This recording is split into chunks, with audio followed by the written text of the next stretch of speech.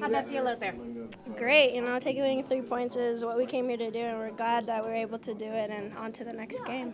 What changed at the half? What did Bev say? Because certainly it looked like uh, there was a, a, different feel on the second half. Yeah, I think there's a lot of different factors. Obviously, it kind of sucked that it was pouring and everything, and the ball was slipping and all that. Um, I think going into the half, Bev just you know reassured us that we're, we're not out of this game at all. Um, you know, one nothing is a dangerous score, um, and just to go into the second half prepared and go full guns blazing, and that's what we did. Jay, do you feel maybe that they caught you by surprise in those opening minutes of the game?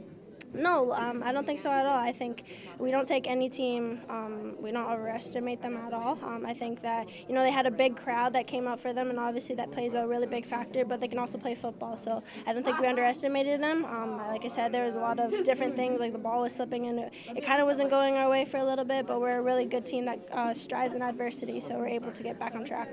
Do you feel like you made there, has been market improvement from game one to game two, especially after halftime today? Yeah, I believe so. I think, you know, like I said, the first match we took away one point, now we took away three. There's a massive and a huge difference, and, and that's going to help us throughout the tournament. Um, and I think just, you know, we take our learnings from game one and we go and take it into this Ireland game, and I think it showed, and now we can take these learnings and progress it into our third match. This is something that is making headlines in Canada, and I know the team uh, probably doesn't want to be asked about it anymore, but mm -hmm. the men's team put out a statement about the uh, state of the negotiations with Canada Soccer. Is there any comments from the players on that? Uh, no comment on that. I think right now we're here at the World Cup, and that's our main focus. Um, our men's team will do what they do, and we'll we'll finish up uh, this tournament and get back to, to that political stuff. But right now, we're just here to enjoy the World Cup.